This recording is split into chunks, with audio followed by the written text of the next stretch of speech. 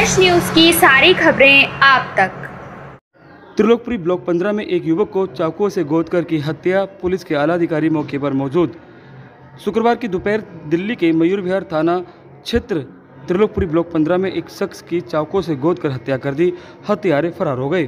त्रिलोकपुरी में सरे आम इश्तियाक नाम के शख्स की हत्या कर दी, जिसकी उम्र 40 वर्ष है, जो कि हम बता दें कि करीब दो महीने पहले वसीम नाम के शख्स की भी इसी जगह चाकू से गोदकर हत्या कर दी गई थी, जो आज अपना बदला पूरा करने की भावना में वसीम के भाई हसी ने इश्तियाक नाम के शख्स की हत्या कर दी और फरार हो गए। फ़िलहाल पुलिस ने सबको कब्जे में लेकर पोस्टमार्टम के लिए भेज दिया गया है और हथियारों की तलाश तेज कर दी है।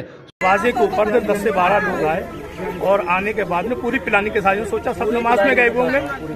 पूरी इंडिया आज के दिन, नमाज़ पूरी दुनिया बल्कि आज के दिन को हम बहुत रिस्पेक्ट करते हैं, बहुत तो कोई सी पढ़े या ना पढ़े तो इन्होंने आके ऐसे मतलब उसके ऊपर हमला करा, छोटे भाई के ऊपर इस के ऊपर। इनकी आँखें वगैरह बाहर आ गई। छोटा सा एक झगड़ा हुआ था जो दोनों चरती थे, एक हमारा भाई, सब में छोटा, और एक जो मरने वाला तीन महीने पहले, शायद पता भी होगा आपको। तो दोनों चर्ची थे, वो आपस में कहीं बैठ के चबल वगैरह पी रहे थे। कोई मामला बन गया, मोबाइल छीन के लाया, वो कह रहे, हज़ार में लूँगा, वो कह रहा, पंद्रह सौ में लूँगा। पच्चीस सौ का मोबाइल बिका था वो। वो पच्चीस सौ का मोबाइल बिका था तो कह रहे, वो पंद्रह सौ में लूँगा, वो कह रहा है पंद्रह सौ में लूँगा। उस बिना पे इनका कुछ मामला झगड़ा बढ़ गया और आप उसमें ऐसा एक नुकसान हो गया आज उन्हें प्लानिंग के साथ में पूरी प्लानिंग करी गई है। इसकी, रात को प्लानिंग हुई थी इसकी इसमाइल के वहाँ बैठ के, इसके लड़का इसमाइल गुलफाम। क्या क्या नाम है इनका?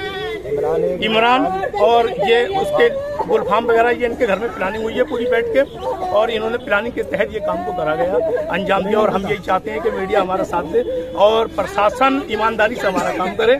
इन्होंने जो देख लो, अगर कानून ये सिखाता है कि आपने मेरा नुकसान करा, मैं आपका करूँ तो मैं तो कहता हूँ ऐसा कानून तो नहीं सिखाता। कोई वजह बन गई, कोई झगड़ा हो गया तो उसका मामला हो गया। इन्होंने हमारे दो भाइयों को एक्स्ट्रा फंसा रखा है रईस को और जावेद को।